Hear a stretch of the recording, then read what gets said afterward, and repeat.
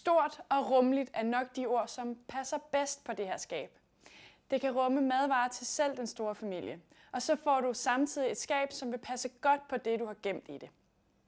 Skabet er med no frost og sensorer, som modvirker temperaturændringer. Skabet er fleksibelt, så der er plads til selv store madvarer. Alt det samtidig med, at det er meget energibesparende. Men vær opmærksom på, at skabet er 70 cm i bredden. Som det ses er fryseskabet hvidt med et godt langt håndtag i venstre side af skabet. Skabet er højere hængt fra fabrikken, men du har selvfølgelig mulighed for at vende døren, hvis du ønsker det. Skabet har en kapacitet på hele 360 liter, som svarer til 24 indkøbsposer med mad.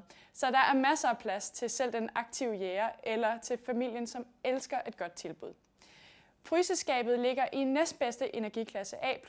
Det måler 191 cm i højden, 70 cm i bredden og 78 cm i dybden. Målene er lidt atypisk, så vær opmærksom på især bredden og dybden. Og husk for en sikkerheds skyld at tjekke efter, at skabet passer hjemme hos dig, der hvor du ønsker at sætte det. Det er værd at bemærke, at skabsloven stort set flugter med siden af skabet, så det er muligt at placere skabet helt op ad en væg og stadig få fuldt udtræk af alle skufferne.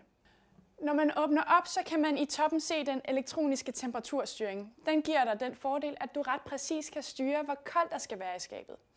Det er også her, at du kan slå superfrys til, hvis du har været ude og handle stort ind. Det er udstyret med No Frost, som sikrer en automatisk afrimning. Du slipper simpelthen for at skulle afrime skabet, da det med jævne mellemrum afrimer sig selv. Det sikrer, at øh, det lave energiforbrug for skabet bevares, men det giver dig også den fordel, at du med den frosne mad holder sig frisk i endnu længere tid. Skabet har i alt tre øv- øh, hylder øverst og fem skuffer nedenunder.